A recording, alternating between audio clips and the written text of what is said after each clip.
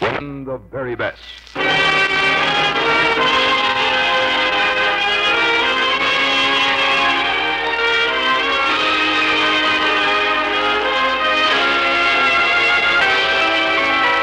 Tonight from Hollywood, the makers of Hallmark greeting cards bring you Dorothy McGuire in Helen MacInnes's Rest and Be Thankful on the Hallmark Playhouse.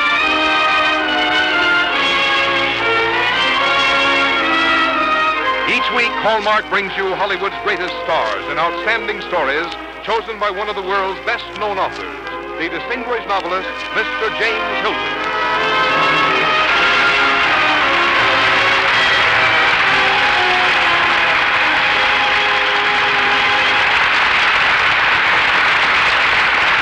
Good evening, ladies and gentlemen. This is James Hilton.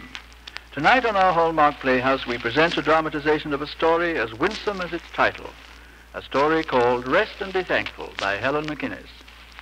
I suppose there isn't one of us who at some time or other hasn't dreamed of a place where he might find refuge from the cares of the world.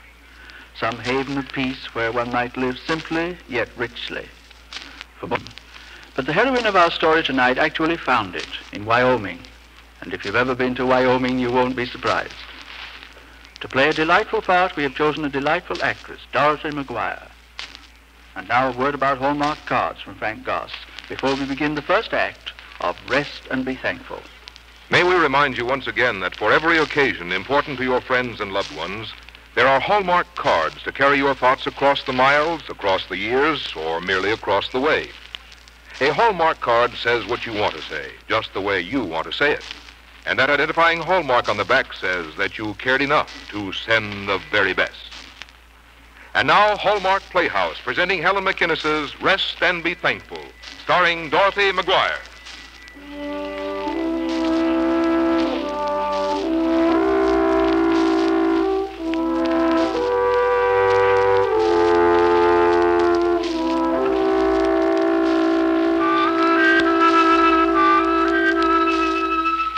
Many of us look too far afield for that secret valley, or for that lovely island in a distant sea where all will be peace and gentleness.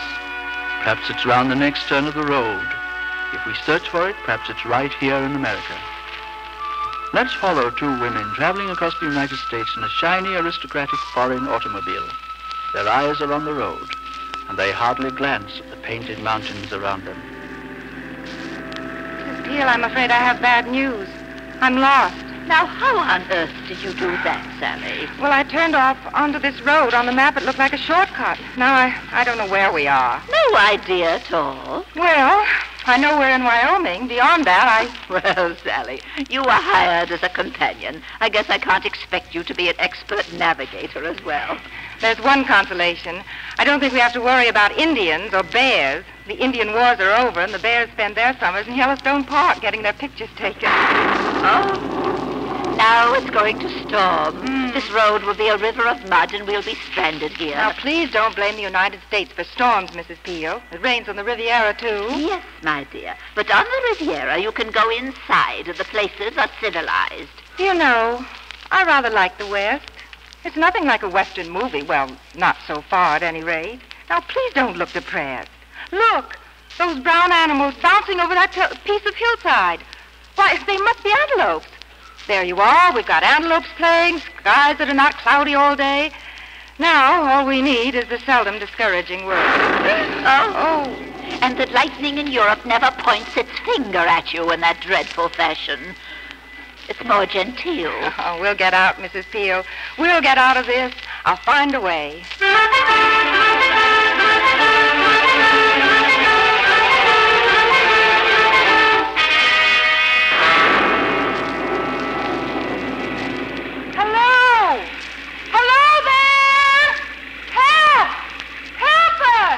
come out of that rain, child. Do you know there's a lovely valley up ahead and a big old house right in the middle of it? It's just a perfect setting. Setting for what? The ride of the Valkyries?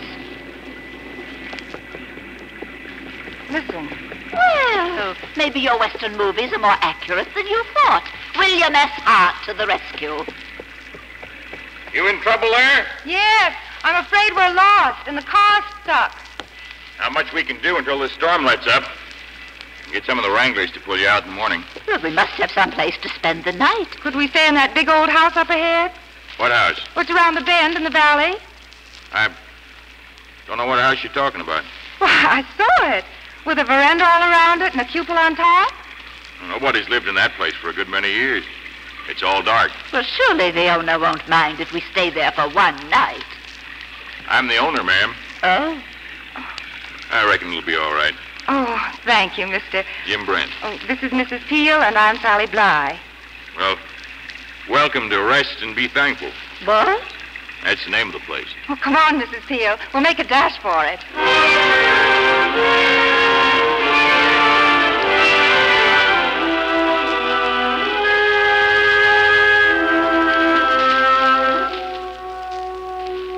Wake up, Mrs. Peel. Time to get up. Hmm?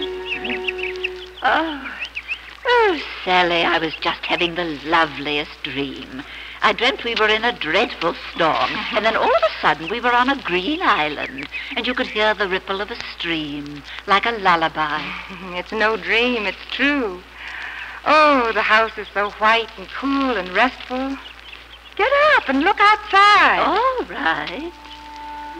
Oh, it is lovely. Mm. We're high in the hills of Wyoming. And this house is built on a tiny island, just big enough for a house, really, at the fork of a creek. Uh, that's a ranch just over the footbridge, isn't it? Mm-hmm. Flying Tail Ranch. That's where Mr. Brent stays and works. The friendly-looking mountain is called Flashing Smile. And the rushing stream at our front door is Crazy Creek. And this tiny island and this lovely house are known as Rest and Be Thankful. Say that all again. It sounds like Stephen Vincent Benet. I wonder why Mr. Brent didn't want us to stay here. Why, the house has been empty and dark so many years. It is very strange, isn't it, Sally? Oh, I feel so peaceful. It must be wicked to feel as peaceful as this. Well, I'm not sure what it is, Mrs. Peel. Maybe it's the stream. It talks to you. And everything. The trees, the wind, seem to murmur the name of this place. Rest and be thankful.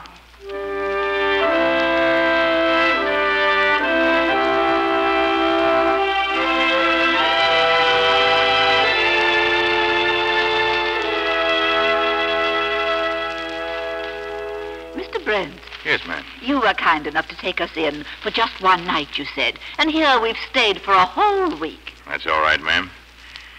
It's kind of good to see a few lights in this house again. Mr. Brent, how would you like to sell this place? Oh, Mrs. Peel. Oh, I don't know, ma'am. See, this is a special kind of house. Almost like a person. It's a house where you were happy. Maybe so, ma'am. But that was a long time ago. It's a large house. Man living here alone. Feel like he's living in Pennsylvania Station. That's where I've been sleeping over at the bunkhouse with the rest of the Wranglers. Well, how do you know about Pennsylvania Station? That's in New York. I'm just a country cowhand, Miss Bly. What would you reckon to do with this house if I was to sell it to you? Well, Mr. Brent, I'm sort of a literary godmother. For years I've gathered writers about me, helping them and encouraging them. And now I'd like to make this a writer's haven. A writer's heaven. Writers, huh? I must admit I need the money, but it, it's expensive property, ma'am. How expensive? Land, house, and furniture, 30000 Sold. Comes awful fast, ma'am. Let me think about it. All right, Mr. Brent. Meanwhile, I'm going to dispatch a telegram to New York to Prender Atherton Jones, the critic, asking his advice and help in rounding up some writers. Oh, why, Mrs. Peel, you're talking Western style already. Imagine rounding up writers. Now get Chuck to take your telegraph message into Sweetwater. Bye for now. Isn't it strange, Mrs. Peel? Most of us gadabouts know New York, California, and the space between is all a great unknown. I'm so glad we decided to drive across. I'm even glad we got lost. Oh, who knows, Sally? Maybe we got found. And imagine, What are you staring at, dear? well, I can't help wondering about Jim Brent. He's such a puzzle, such a mystery. You don't think he's always been a rancher in Wyoming? He's keeping something deep inside him. Something about this house. About his life before he came here. He never laughs. Have you noticed? Oh, he's the warm, friendly sort of person who should laugh sometimes. But it never gets beyond a kind of faraway smile. It's something about this house. Yes. As if he knew this house. And the house knew him. Like uh, two old, old friends. And they shared a secret together.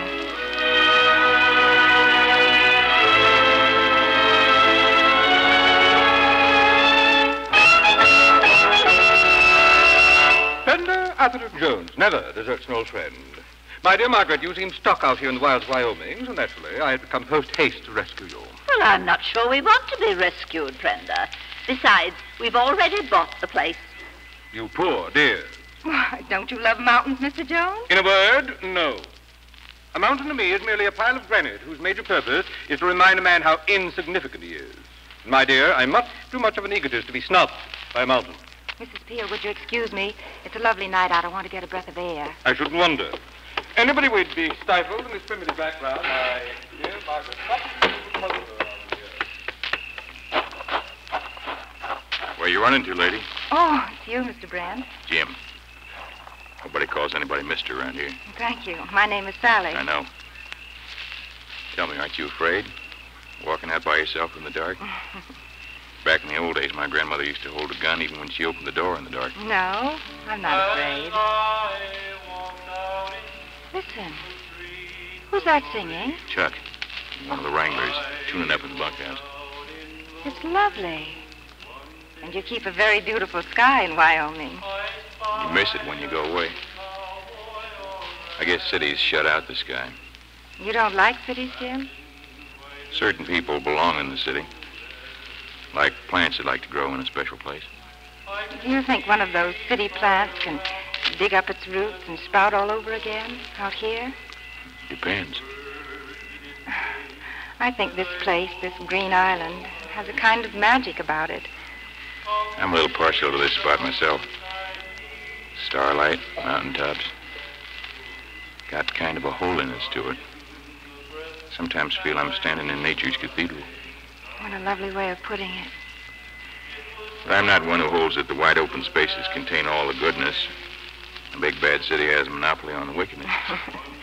it's, well, I suppose it's the people. Yes, the people. Well, gotta get moving.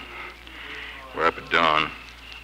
Sun tips its hat at us, and we all like to be up to tip ours back. Good night. Night, ma'am. Miss Sally, Yes, Jim. something I want to tell you about the West. Hmm. Out here, you got to listen very closely to all the things that aren't said. Just as much as you listen to the words that are spoken. I'll remember that. Good night. Night.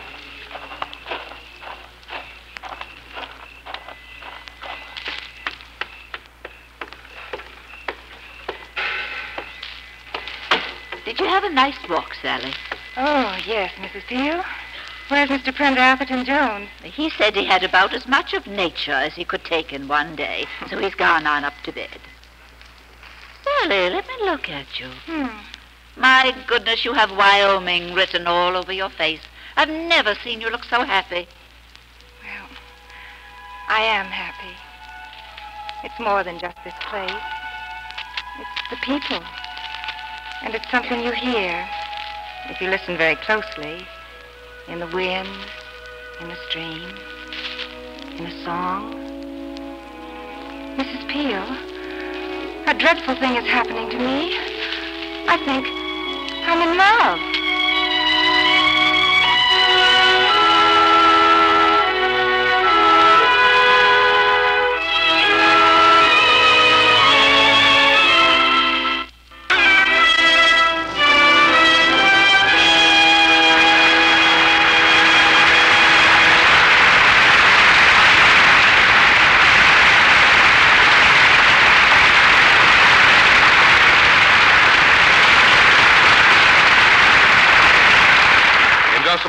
Return to the second act of Rest and Be Thankful, starring Dorothy McGuire. It happens to us all very frequently. Perhaps today it happened to you. You saw a smile, a manner, a walk that reminded you of a long ago friend. You thought a moment and reflected to yourself, I wonder how things are going with him. But the thought passed, as so often they do, because you had no time to write. And besides, you didn't really want to say as much as you would in a letter. You were just thinking about him. There's an easy way to give that thought expression, you know. You can give it wings and body and send your friend a greeting across the miles by means of a Hallmark friendship card. At the fine store where you buy Hallmark cards, you'll find one that says, Hello, how are things with you? Or there's another that says, Hi, I'd surely like to see you. There are any number of different things you can say by means of a Hallmark card. In fact, you'll find one that says what you want to say, just the way you want to say it. So why not follow those kind impulses and show your friends you thought of them? And remember, when that familiar hallmark is on the back of the card you send, you're also showing your friend you cared enough to send the very best. Now back to James Hilton and the second act of Helen MacInnes's Rest and Be Thankful, starring Dorothy McGuire.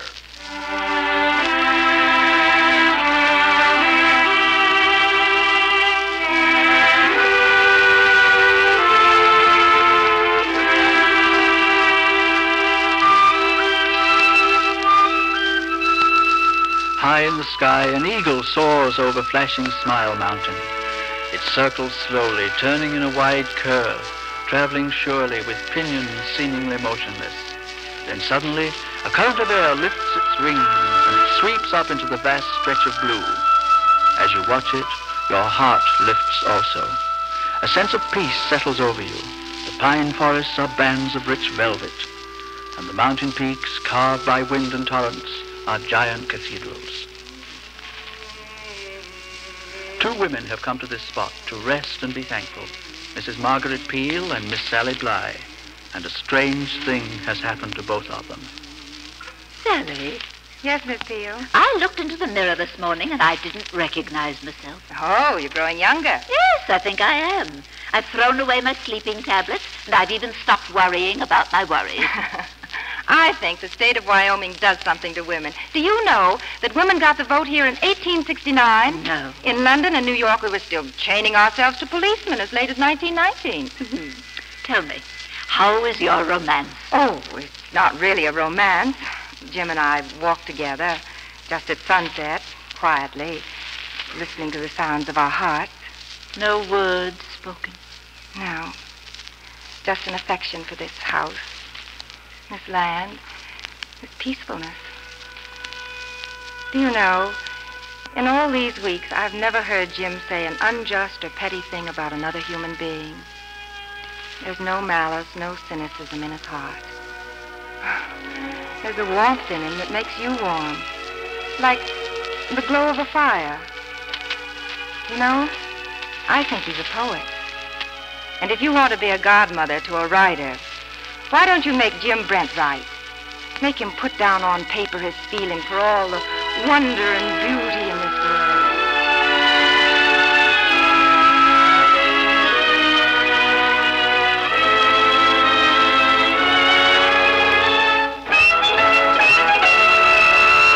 Well, Margaret, here is your list. If you want to sponsor and help a group of writers, here they are. The true artists of the moment. Oh, yes, Prender. Well, there's Carla Lovebrooke, who writes those charming, thoughtless, pointless short stories. There's Robert O'Fallon, who does a complete novel without a single trace of punctuation. Very daring and avant-garde. Nobody understands a word of it, but it's sheer delight. Then there's Wolfgang Gruber, who's writing an expose of conditions in the South African mines and hasn't washed for a year. He feels he gets more in the mood that way. All geniuses, my dear. Go back to New York, Prender. What? You don't belong in Wyoming. You belong in a nightclub or at a cocktail party, along with the smoke and the idle chatter. Well, I never. What's happened to you, Margaret? You don't mean to say you've been sinking mentally down to the side saddle set? Well, ah, maybe I've been enchanted, bewitched. I don't know exactly. And maybe I'm about to discover a Wyoming poet.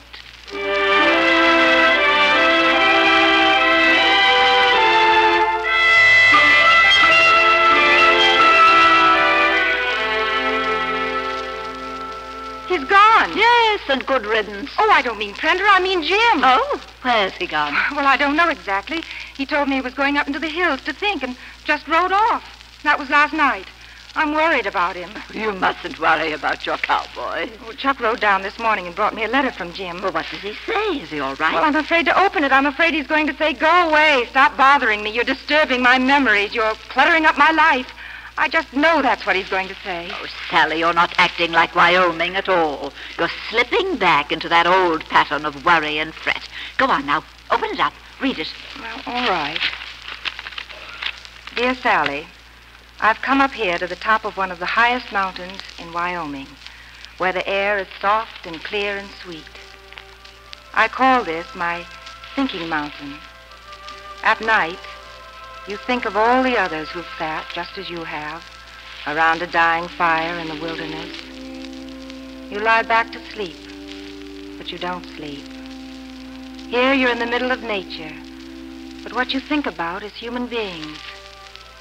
You see things so clearly as you lie out here, listening to the mountains and the night sky.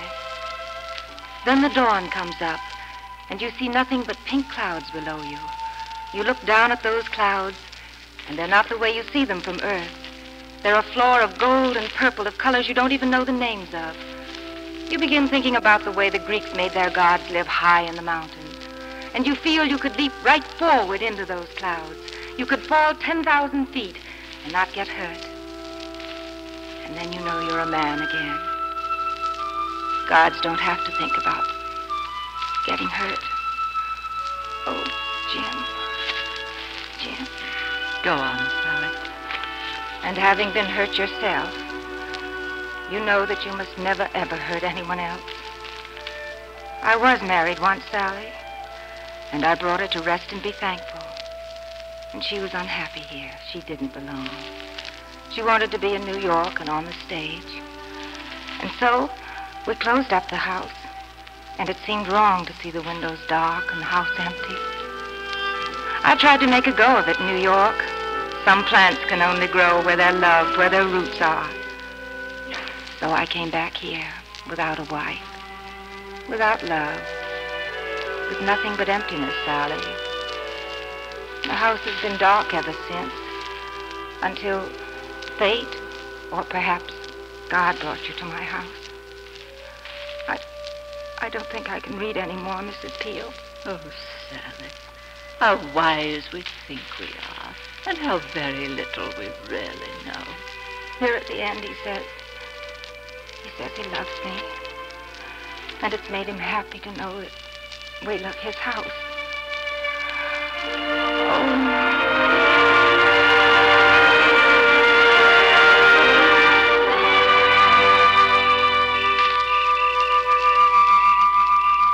We've missed you, Jim. I've missed you, Sally. Oh, how lovely. I told Chuck to start playing just when the first star rose over a flashing smile. Twilight's no good in Wyoming without a little cowboy music.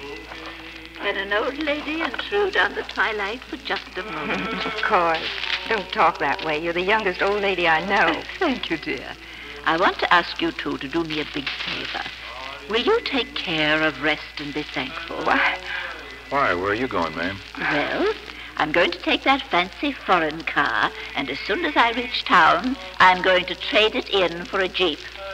And then I'm going exploring. I want to have a look at Oklahoma in the flesh, not on the stage. and I want to see what it's like inside Montana and Utah and Oregon. Oh, I'm a young'un. I'm a maverick, and I've got to roam. this is a big country, a beautiful country. It needs exploring with our eyes and with our hearts. And you knew that Sally and I were planning on getting married. Well, nobody ever told me, but I heard it.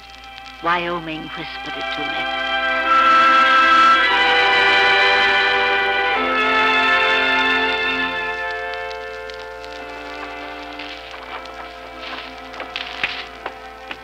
Welcome home, Jim. Welcome to a house that'll never be dark again. Jim, turn on all the lights. What? I want to see every light in this wonderful house shining bright. All right. living room, Okay. dining room, Kitchen. every single room in the house. Front bedroom. Back bedroom.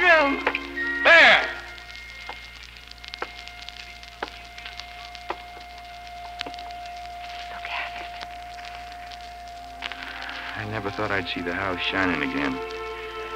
Like this. It's more than lights, Jim. It's love. For a long time, I was afraid this old place had the wrong name. Oh, no, no, no, Jim. I've never known, never before, what it really means to rest and be thankful.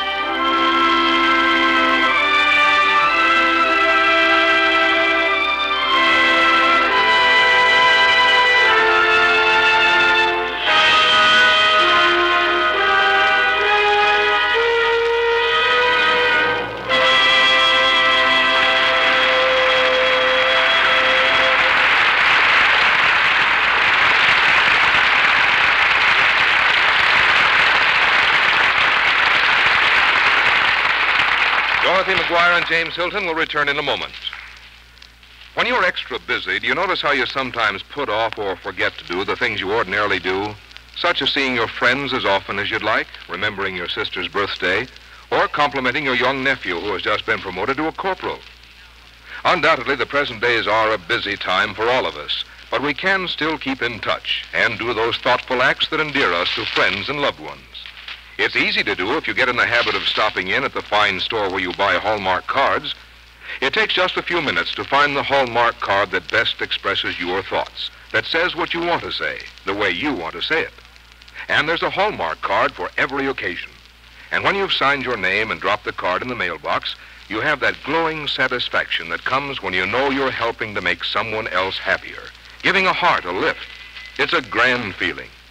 And to that feeling, when the card you send is a Hallmark card, add the pleasure of knowing you cared enough to send the very best. Here again is James Hilton. Thank you, Dorothy McGuire. You gave us your usual excellent performance and we're very grateful. Well, thank you, Mr. Hilton. I enjoyed playing Sally and living for a while in that home with a wonderful name. That certainly is a wonderful name for a house, isn't it?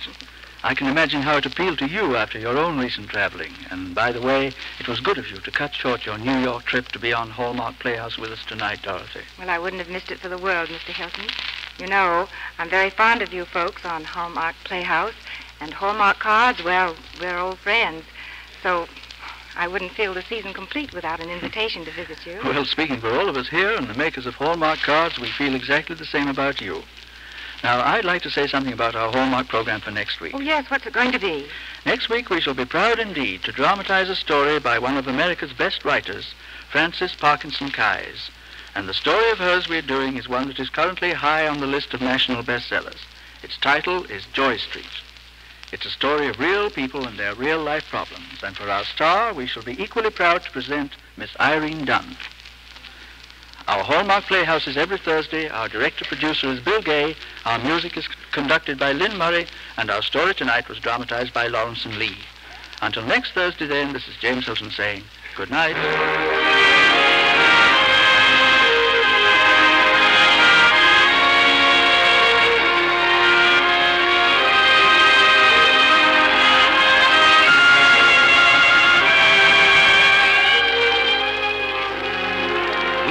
Hallmark cards that are sold only in stores that have been carefully selected to give you expert and friendly service.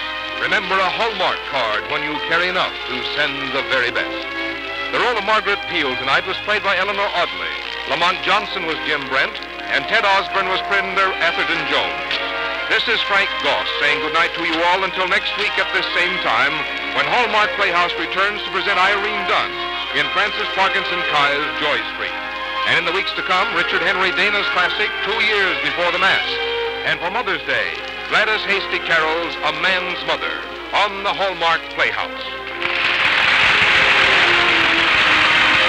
Mr. CBS, the Columbia Broadcasting System. This is KMBC, Kansas City, Missouri.